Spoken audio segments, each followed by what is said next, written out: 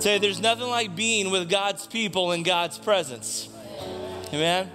My name is Andrew Carroll, and I'm one of the pastors here at New Life Community Church. Pastor Steve and Pastor Tammy are away this morning, so I have the wonderful privilege of opening God's Word up with you today. How many of you were here last week?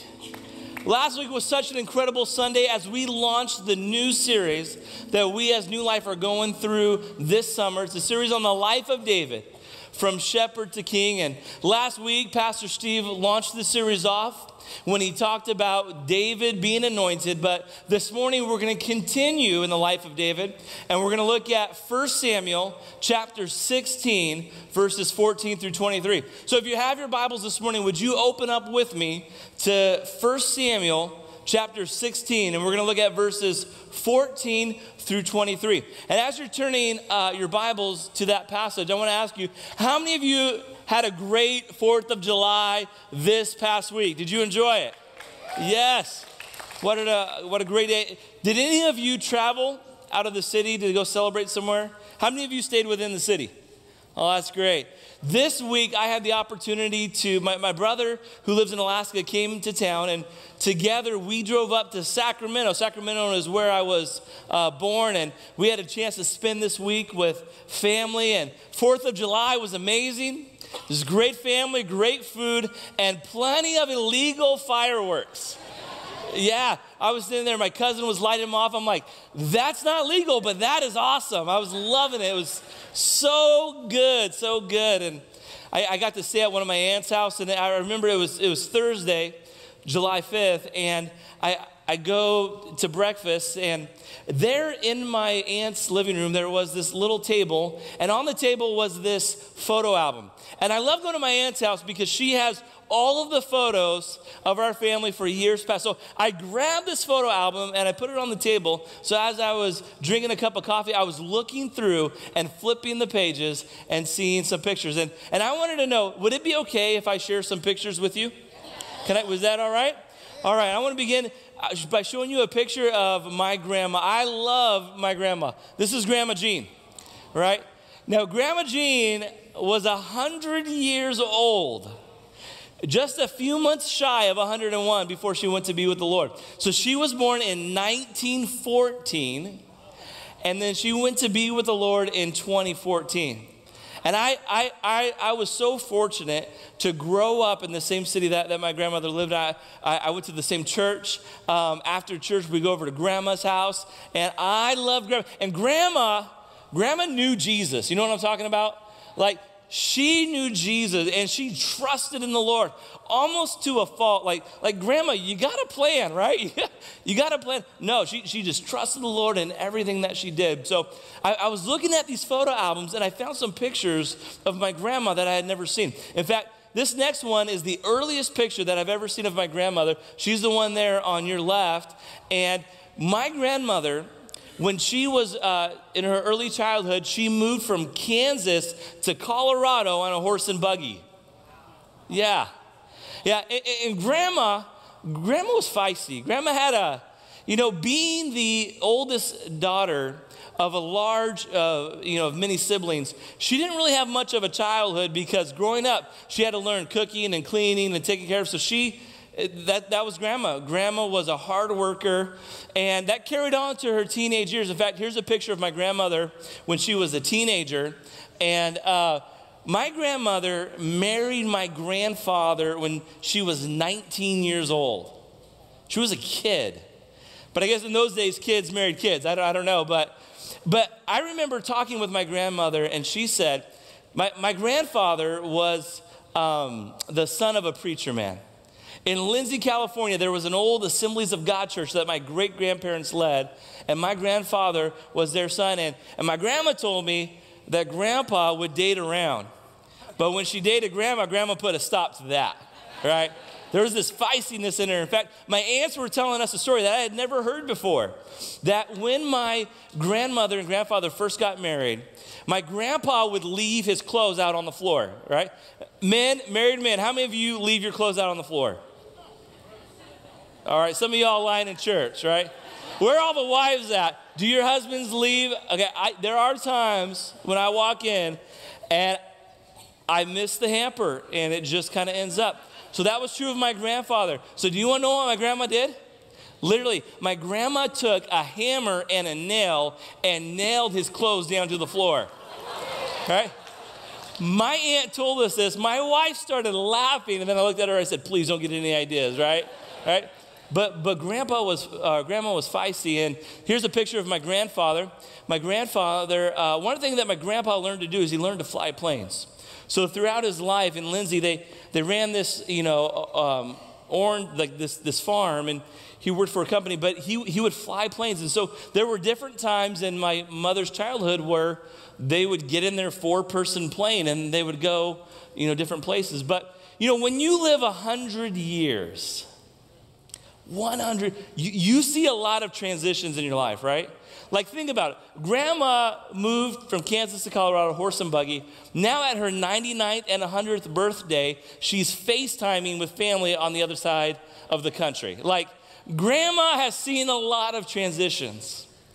But when I was talking with my aunts, there was one particular transition that was difficult, that, that, that stood apart from the rest.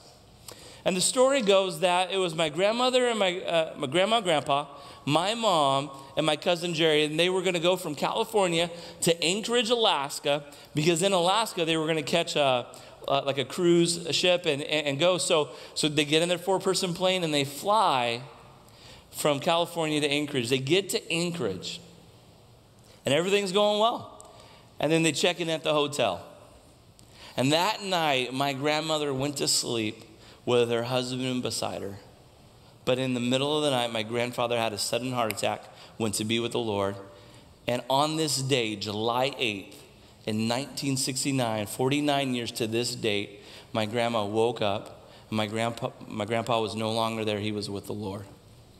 And that transition, out of all the things that my grandma had experienced, was probably one of the most difficult, one of the most heartbreaking things. But you know what got her through it? It wasn't self help, it was God's help right? How many of you know when we go through transitions in our lives, we have choices that we need to make? Some people choose to self destruct.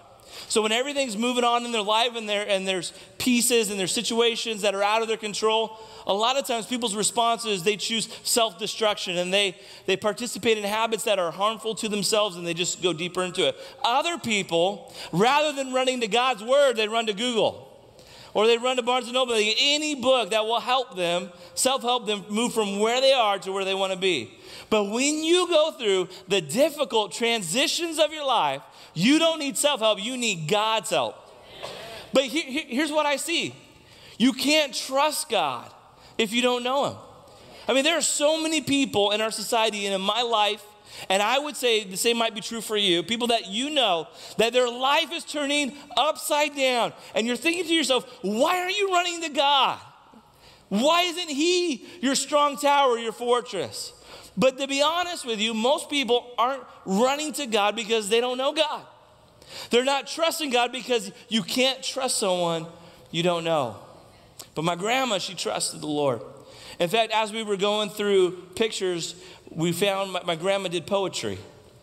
And we found a poem that my grandma shared at my grandfather's funeral, and I wanted to share it with you today. This is what she wrote. She said that life is a book in volume three the past, the present, and the yet to be. The past is finished and laid away. The present we are living from day to day. The third and last of volume three is locked from sight God keepeth the key. This morning, we're going to talk about transitions in our lives. But more specifically, how do you and I, how do we trust God in the transitions of our lives? And what I want to do is, I want to give you three reasons why you can trust God in the transitions you're going through. Three reasons that describe who He is. Because this is what I believe that you can't trust somebody you don't know. So here's my prayer for you today. My prayer is I know that there are people in this room that right now you are going through transitions in your life. There are situations that are changing and moving, and you don't know what the future is going to look like.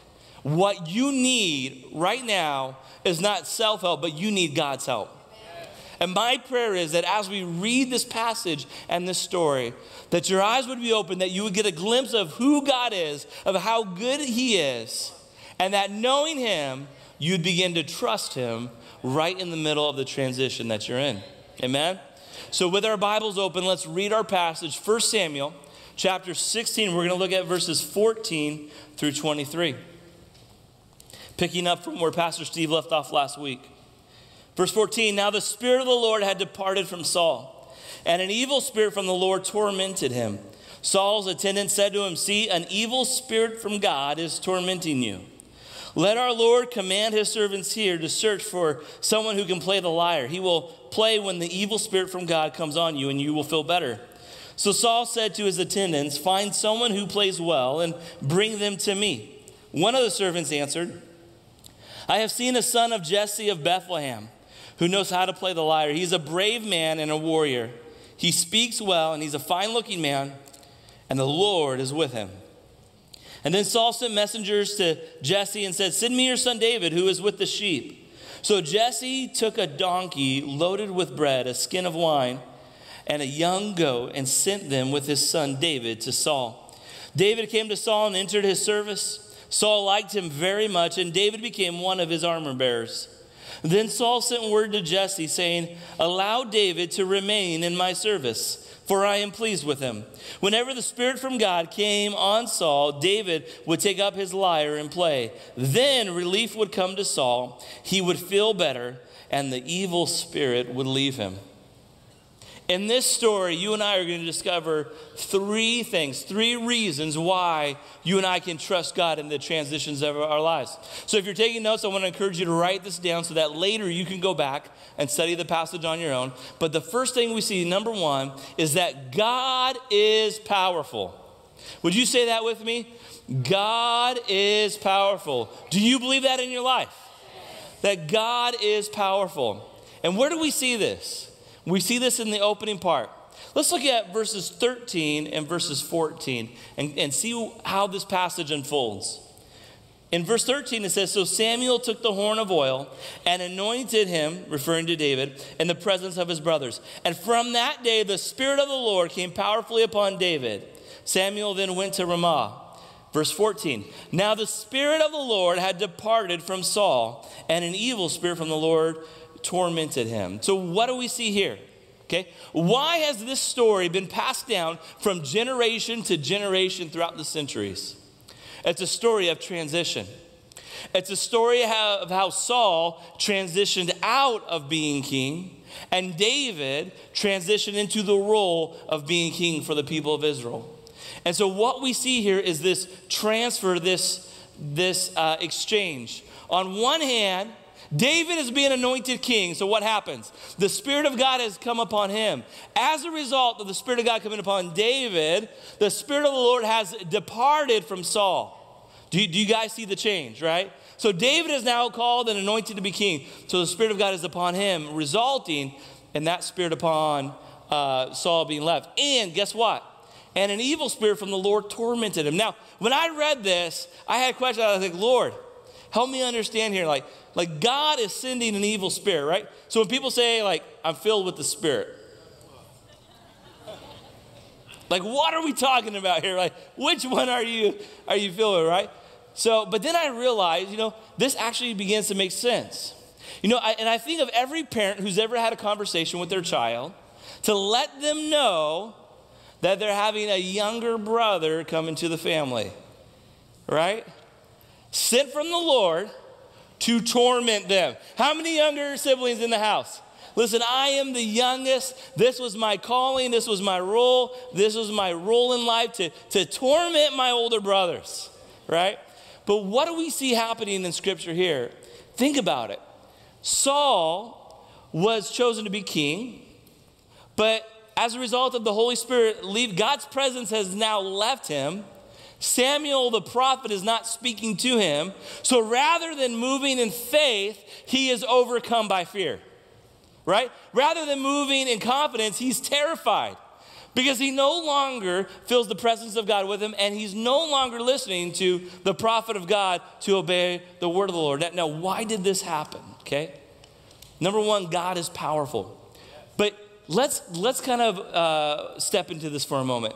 If you want to understand what's happening here in the life of Saul and David, in fact, if you want to understand what's happening throughout the storyline of Scripture, you have got to understand football. How many football fans in the room? Come on. Amen.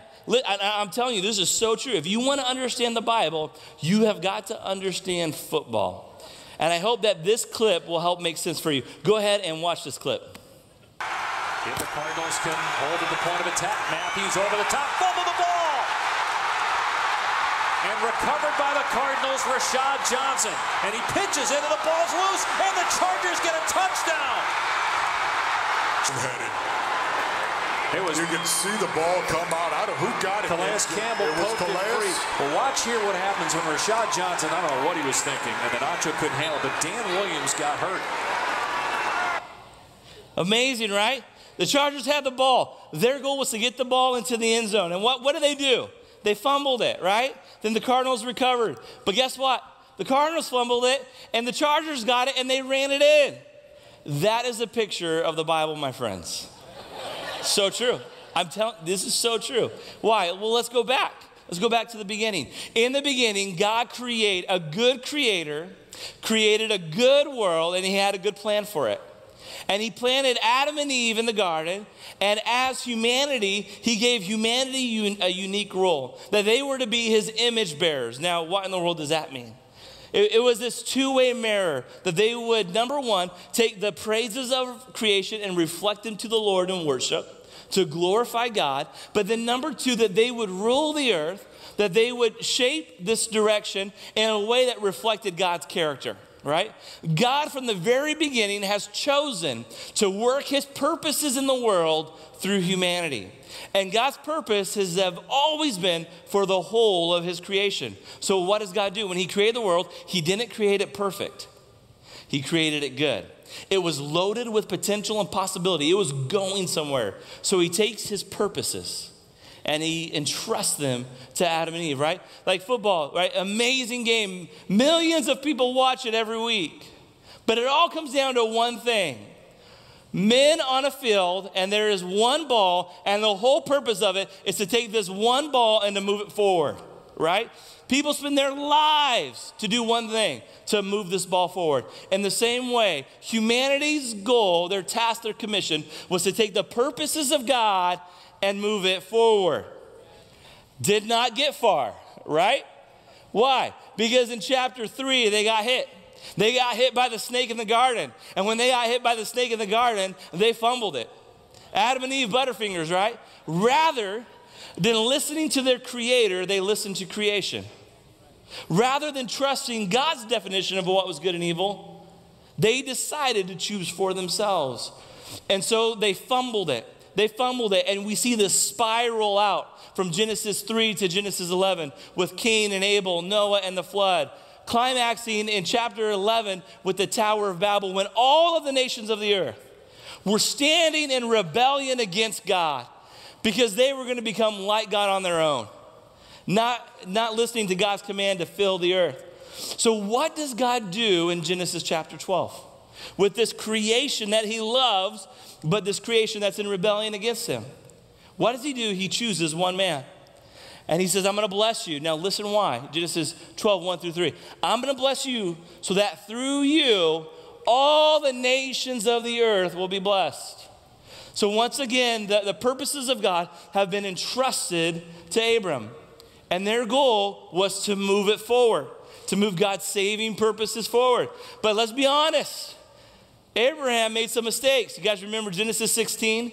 Where uh, Sarah came up with a great idea. Why don't you sleep with my slave and we'll create, you know, God's promise on our own. That did not go well. And by the way, might I say, anytime your wife says, here's a great idea, go sleep with somebody else, not a good plan, my friends, not a good plan. So he has some trouble, but listen, even when we fumble it, God is faithful. Do you believe that? Even when we fumble it, God is faithful. And so God was faithful to his promise, Isaac, and then through that, that the people of Israel as a group came to be. And now we move to the story in the book of Exodus. And what do we see happening in Exodus? Well, the people of God are now moved out of Egypt and into the promised land. And in Exodus 34, God tells the people of Israel, He says, Listen, I am choosing you as a holy nation set apart to be a kingdom of priests to the nations. Why? It's the same promise as in Genesis 12, which is the same promise as in Genesis uh, 1 and 2, that God wanted to bless Israel so that through Israel, all the nations of the earth will be blessed. So Israel was supposed to be a reflection of the Lord. So Israel gets the ball. What are they called to do? They're called to move the purposes of God forward. But what do we know happens? Israel fumbles it. Because rather than trusting the Lord, they rebel against the Lord. So what happens? So Jesus comes down to do what you and I could not do. He came down to be Israel to Israel. He came down to show you and I what it means to be truly human. Think about this humanity was created in the image of God, but we blew that, right? We took the ship and we just crashed it. So Jesus Christ, the image of God, comes down to do what you and I could not do to make a way to God, right? All throughout the Bible, we see two things. Number one, every time we fumble it, God is still faithful. Why is that? Because although we're bearers of the promise, we're also carriers of the problem. Every single one of us in this room, we have butterfingers. It's true. And we see this not only in the storyline of the Bible, but we see it in Saul. So let's talk about Saul real quick. In 1 Samuel this, uh, the Israels were, were led by judges, but Israel was like, I don't want to have Yahweh be king. We want to be like all the other nations and have a king of our own. But Israel was never called to be like the other nations. They were called to be a reflection of the Lord. But the Lord, in His goodness, allowed Israel to make their choice, even if that choice was rejecting Him. So, what did God do? God chose Saul. God equipped him, God put his spirit on him. He gave the ball to Saul. Saul had the ball. Now, what was his goal? To move the purposes of God forward. How? By reflecting God's heart as he led the people. But what happened to Saul? He fumbled it. How did he fumble it? Why? He rejected the word of the Lord. And when he was confronted with it, rather than repenting, he tried to manipulate God by offering a half hearted sacrifice. And that's where it says in Scripture that rebellion is as of the sin of witchcraft. Why? Because witchcraft is where you manipulate the forces to carry out your will. Saul was trying to manipulate God to get what he wanted rather than obeying the Lord. So Saul fumbled it. So, what do we see in our passage right now? Now, the purposes of God have been entrusted with David. And David has been anointed king. That's what Pastor Steve talked about last week. And now we see him moving toward his calling. But over and over again, we see this that God is powerful, that every time you and I fumble, he is still faithful. Can I be honest with you? There are times in our lives where we drop the ball. There are times in our marriages where we drop the ball. There are times in the raising of our children that we drop the ball. But I praise God that even when I fumble it, that God is faithful. I praise God that my mistakes don't change God's faithfulness. That even in my unfaithfulness, God is still faithful to his word. Do you believe that today? Amen. But not only do we see God being powerful, there's a second thing we see in this passage. Not only is God powerful, but secondly, God is purposeful. God is purposeful. Ladies and gentlemen, I'm here to tell you that God has a purpose. And we see this as we look at verses 15 through 18. In verse 15, it says, Saul's attendant said to him, See, an evil spirit from God is tormenting you. Let our Lord command his servants here to search for someone who can play the lyre. He will play when the evil spirit of God comes on you, and you will feel better. So he said to his attendants, Find someone who plays well and bring him to me. One of the servants answered, I have seen a son of Jesse of Bethlehem who knows how to play the lyre. He's a brave man and a warrior. He speaks well and he's a fine looking man. And most importantly, it says, and the Lord was with him. Secondly, we see that God is purposeful. Here's what's interesting when God chose to remove the, the, the spirit on Saul and, and place it on David, what did that do? That created a need. It created a need that Saul needed somebody to come in who knew how to play the lyre. That when they would play, he would, rather than being filled with fear, he would calm down. And guess what, my friends? There just happened to be a young shepherd boy who played a lyre. Here's what I want to tell you today all you and I need to be is exactly who God created us to be. All you and I need to be is exactly who God has created us to be. Listen to this your gift mix, your personality, your experiences, your temperament, all the things that make you you. What that is, is that is a unique variation of the breath of God that has been breathed into your life in order to reflect His goodness into the world. We need you to be you. Can I tell you something? We live in a world where there's too many echoes and not enough original voices. We live in a society where everybody is singing a cover song, but no one's writing original music. And we see this in the way that we relate to people, right? Because what we do is number one, we wonder. We wonder, am I good enough? We wonder, have, have you know, uh, and we struggle with insecurity and we say to ourselves, I wish I was more like so and so. And we can always test the motives of our heart when there's somebody who's in the same season of life and the Lord blesses them. And we have an opportunity to either A, be critical of why did God bless you and not me, or B, we can step into it as an invitation to celebrate with them, right? I mean, take, take the family who's, who's been praying for children and they have friends that have been praying for children, but the Lord answers the, the prayer request of one, but not the other. And there's this temptation to be like, why isn't this happening for me? Why can't I be more like so and so? Listen, all you need to be is exactly who God has created you. We need you to be you. That's exactly who we need you to be. So, not only do we see the purposes of God in David's life, but as we step back, and what you'll notice as we work through the stories of David's life, that there's a purpose that carries through David's life. Because one of the questions we have to ask ourselves as it relates to God's will is what do we do with all the waste in our lives? How many of you have ever made a mistake? Okay, raise your hand, right? If your neighbor's hand's not up, raise their hand, right? We've all made mistakes. There are skeletons in our closet. There are things that you and I have done that we are not proud of. So, what do we do with the waste, right? I, I, I think of the person who for years had a drug addiction, but recently came to faith in Christ and realized that they missed the first 18 years of their son's life. But now they're in a different place than where they were. And so one of the questions is, man, 18 years, what, what do I do with that? Or what do you tell the woman who's been married 25 or 30 years? only to find out that her husband's having an affair. 25, 30 years, all of the moments, all of the memories, everything that they've poured into it, and what to show for it.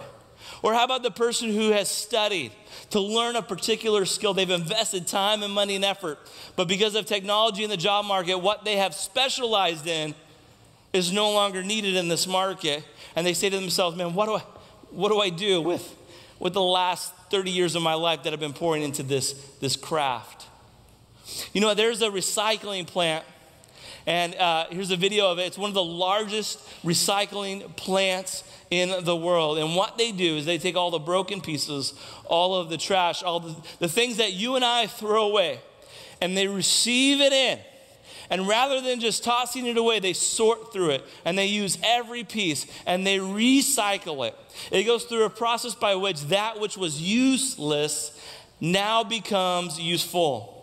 Can I tell you, my friends, that this is what the Lord does with our lives?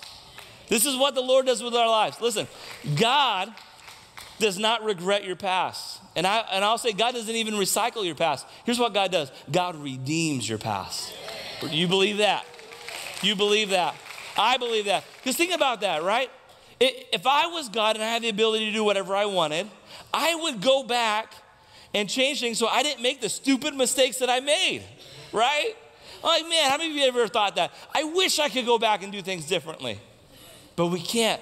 But God doesn't edit our lives. What He does is He works out everything in conformity with the purpose of his will. God is a God of purpose. He has a purpose in your life and He has a purpose through your life. And I, can I say this? Not only do we see that in the life of David, but look at the servants.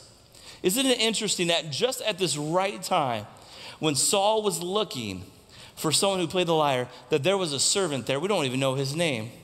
But somebody said, Oh, Jesse has a son. Can I tell you this? God has a plan for your life. Do you believe that? But listen to this the purposes of God do not revolve around God's plan for your life, but rather God's plan for your life revolves and contributes it to the larger purposes of God. Let me say it like this. You're going to love it. You're going to write this down, right? Turn to your neighbor and say, You're going to want to write this down, right? I'm going to tell you something. It's going to be helpful, super helpful. Are you ready? Here it is. Ready? It's not about you. It's not about you, right? We don't, we don't even know that servant's name. But because he was there at the right place at the right time, God used him. And he was a part of the story of David coming into his calling. So not only is God powerful, and not only is God purposeful, but there's the third thing that God is present. That God is present. And we see this as we look through verses 18 through 23. The last phrase in verse 18 it says, The Lord was with him. And then Saul sent messengers to Jesse, and he said, Send me your son David, who is with the sheep. So Jesse took a donkey loaded with bread, a skin of wine, and a young goat, and he sent them with his son to Saul, his son David to Saul. Verse 21 David came to Saul and he entered his service. Saul liked him very much, and David became one of his armor bearers. And then Saul sent word to Jesse, saying, Allow David to remain in my service, for I am pleased with him. Whenever the Spirit from God came on Saul, David would take up his lyre and play. Then relief would come to Saul, and he would feel better, and the evil spirit would leave him. There's two things I, I, I want you to notice about those verses. Number one, the Lord was with David. The Lord was with him.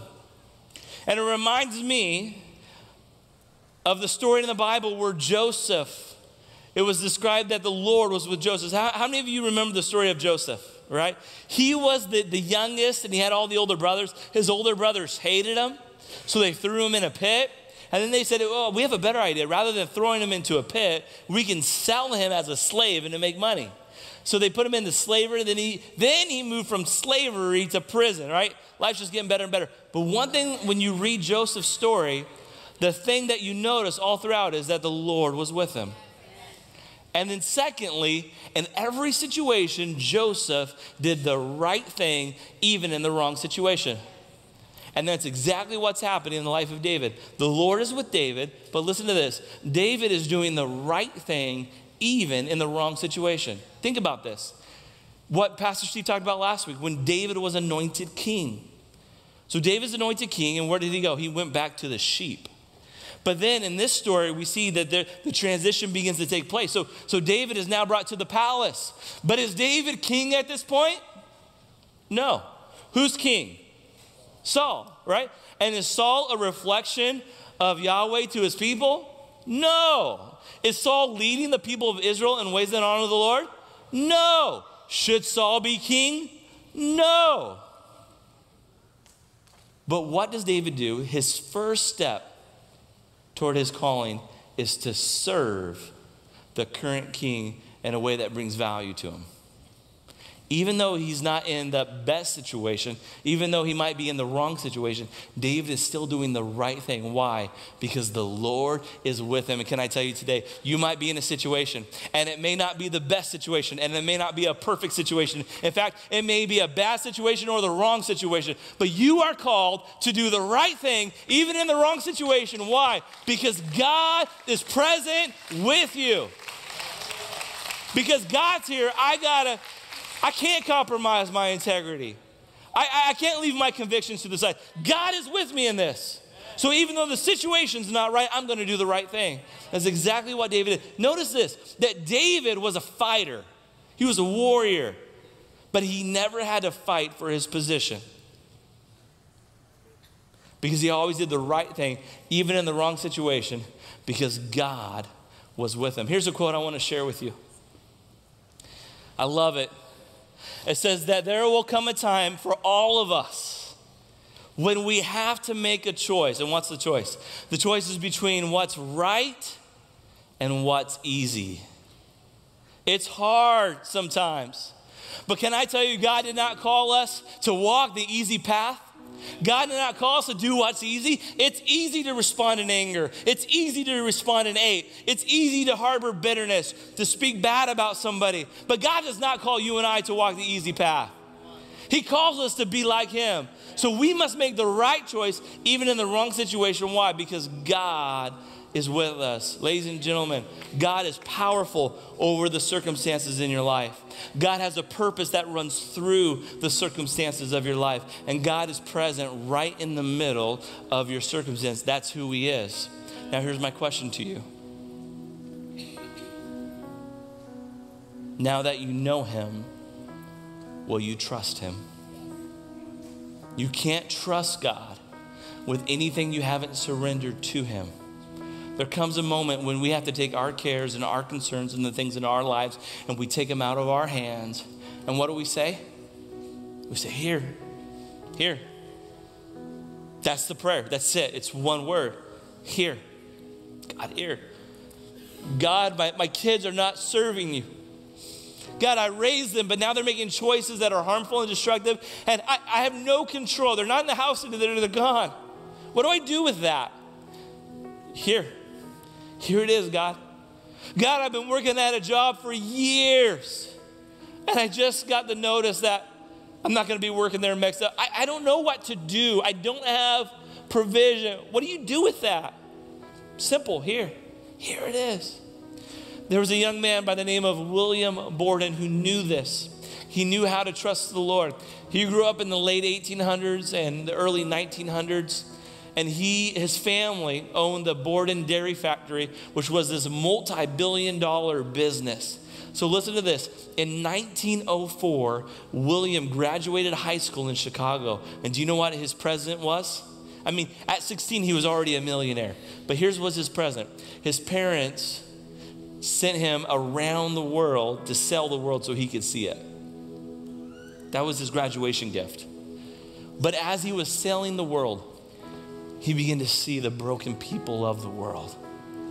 And God began to get a hold of his heart.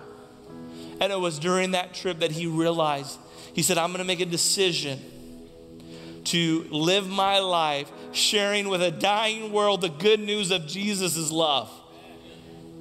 So when he came back and he told his friends and his family, he said, I, I want to be a missionary. Well, that wasn't their expectation. Their expectation was that he would continue with the family business. I mean, he was a multimillionaire at 16 years old. He had potential and possibility. But he said, No, no, no, no. This is what God's called me to. And then he took his Bible and he wrote two words in his Bible no reserves. Rather than trusting in his wealth, he trusted in the Lord and he put no reserves. Well, after high school, he went to graduate school. He went to Yale. And not only did he graduate from Yale, but then he did his seminary work at Princeton University. Brilliant man, full of potential. But by the time that he graduated graduate school, he had still believed his commitment earlier to follow the Lord. And at that point, his father wanted him to move into the family business, and the story goes that the father disowned him because of his decision to go into the mission field. But at that time in his life, William grabbed his Bible, he opened it up, and he wrote two more words No retreat. No reserves, no retreat the Lord had put on his heart that he, he wanted to go to China and he, he wanted to specifically reach the Muslim community with the message of Jesus' love. So as he sailed, he stopped in Egypt so that he could learn Arabic to help him in his studies. When he arrived in Egypt, he contracted spinal meningitis, and with one month at the age of 25, William passed away. And when the news of his death hit the States, people said, What a waste. What a waste. He had it all, but he left it. And look where it got him. But then later they found William's Bible. And they opened it up and they realized that he had wrote a third phrase. And that third one was no regrets. No reserve, no retreat, and no regrets. Can I tell you this? William lived more life in those 25 years than most people live in 90 years because he lived a, he lived a life of trusting the Lord. And why did he trust him? Because he knew him. Can I tell you today? You can trust the Lord. I don't know what burden you've walked in with. I don't know what you're carrying. I don't know what's in your hands, but although it might be too big for your hands, it's not too big for His. Why? Because He's a God who's powerful. He's a God who has a purpose, and He's a God present with you right here, right now. Would you stand with me today? This is how I want to close the service. I want to lead us in prayer, and I'm going to invite you to take your hands, put them in front of you, and close your eyes. And just in your mind's eye, what is it in your life that you are struggling trusting the Lord with? Is it a relationship?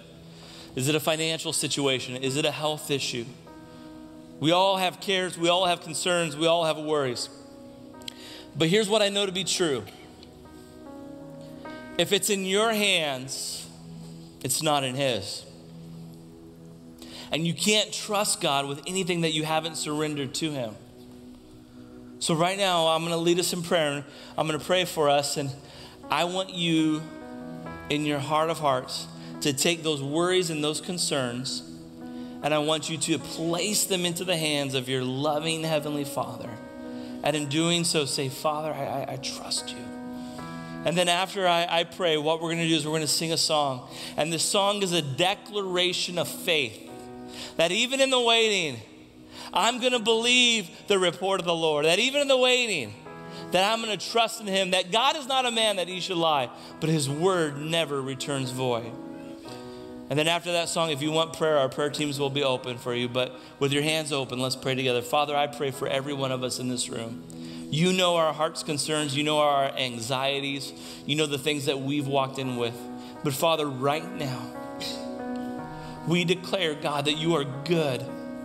You are a God who's powerful. You are a God who has a purpose. And you are a God who's present with us right here, right now. And so, because we know you, we trust you. And we take those things out of our hands and our lives. And Lord, we place them into yours. We cast our cares upon you because we know you care for us. Thank you for being with us in Jesus' name. Amen. Let's worship the Lord by faith. Amen.